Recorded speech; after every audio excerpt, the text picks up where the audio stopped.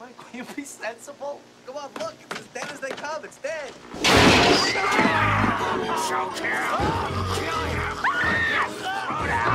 The heart! Shoot him in the heart!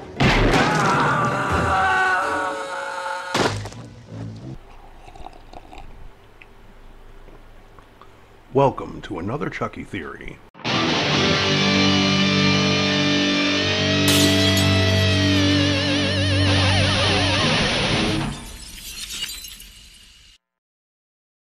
Hello, folks. Thank you for joining me today. So, I am going to be talking about Seed of Chucky. Yes, Seed of Chucky, the red-headed stepchild of the Child's Play franchise. And I'm not gonna lie, but for many years, I disliked this movie. I don't want to say hated. Hated is too passionate of a word. I didn't hate it. But it is safe to say that it is, and still probably is, my least favorite film in the franchise. But for better or worse, it is canon to the rest of the series, and I'm willing to respect that to some degree. And I'm even willing to set aside some differences to focus on this one scene that bothered me for many fucking years. Remember this scene at the end? When Chucky's arm is gifted to Glen as a birthday present and it comes out and chokes him?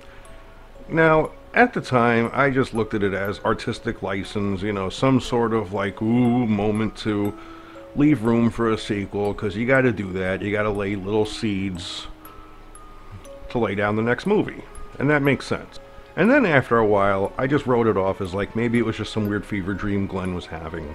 But after giving it a considerable amount of examination, well, is it really that far fetched that this scene happened? Is it really something that crazy or out of the realm? I mean, his arm comes to life and starts choking him. Well, we have seen this before, haven't we? In the original film from 1988 before he meets his demise with that little piece of lore they dropped on us. You know which one I'm talking about. Heart. His heart is almost human. It's the only way through the heart. And probably because it was a contribution from director Tom Holland, who rewrote Don Mancini's original Blood Buddy script, it pretty much got written off. But I want to say that that concept, you know, the only way to stop Chucky is to shoot him through the heart, still holds true. And if you don't shoot him through the heart, he is literally an unstoppable force unless if you immobilize him. Now, unfortunately, I could not find any sources to fully back this up, but I remember years ago it was either an interview with Don Mancini or maybe something I read in an article. One of the original concepts for the opening of Child's Play 3 was going to be different. It wasn't going to be where the Play Pal Toys, you know, reopens the Good Guy Doll Factory and relaunches the product. Instead, we were going to get a couple of preteens who were going to be joking around about the urban legends of Chucky. They go ahead and break into the abandoned Good Guy Doll Factory and basically fuck around and find out. Press a few buttons, a few machines get rolling, and then Chucky's blood, through some sort of mousetrap board game hijinks, finds its way into a new doll. And even the comic book from Innovation from the 90s had its own twist on this, in which a rat bites Chucky's remains, and again, through mousetrap board game hijinks, the blood finds its way into another doll. And that's just a little too Final Destination-y for me. That's just... No thank you.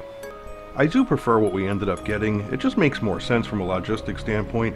Plus it gives more rhyme to have more sequels if the factory was up and running and still producing more of these good guy dolls.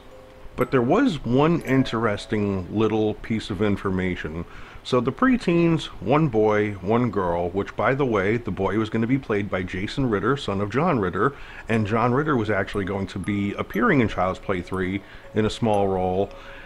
That did not pan out, and I'm kind of glad it didn't because he ended up in Bride of Chucky, and honestly, I couldn't think of anybody better for that role. And I'm glad to have the late John Ritter's inclusion in this franchise in any format. The young female preteen was going to come across a piece of Chucky's face and it snaps at her. That I find very interesting, and even though we did not get that in the final cut of the film, that would have been a cool thing to see. I think it would have been a little creepy and definitely very scary because that basically just shows that the original idea was, was that Chucky never died to begin with at the end of Child's Play 2. Therefore, he was still able to move dismembered parts of his body, just like in Child's Play 1 before he got shot in the heart. This probably also explains why the blood in his plastic coated carcass from Child's Play 2 was still fresh. Going back to Seed of Chucky, he's able to move his arm because, well, we saw how he met his demise. Glen dismembered him completely, limb from limb, and his head, but his chest was intact, his heart was fine. I do realize that, yes, Chucky did get axed in the chest in this scene, and that was something I forgot about when I started recording this video. Um, but you could debate whether if it actually reached his heart or not. I'm just going to opt to say that it didn't. I don't think that was a fatal wound. We've seen Chucky take worse punishment. So he was never dead. He never died at the end of Seed of Chucky either. The other films prior to that, well, let's do the math. Child's Play 1, he got shot in the heart. Child's Play 2, his head blew up, heart intact, still moving stuff, at least according to the original script concept. Child's Play 3, bladed in an industrial fan, and honestly, he was chopped to bits. I'm sure his heart was part of that. In Bride of Chucky, he was shot to death right through the chest. It's safe to say his heart got hit. Chucky did not meet an end in Curse of Chucky, at least until the post-credit scene with Andy.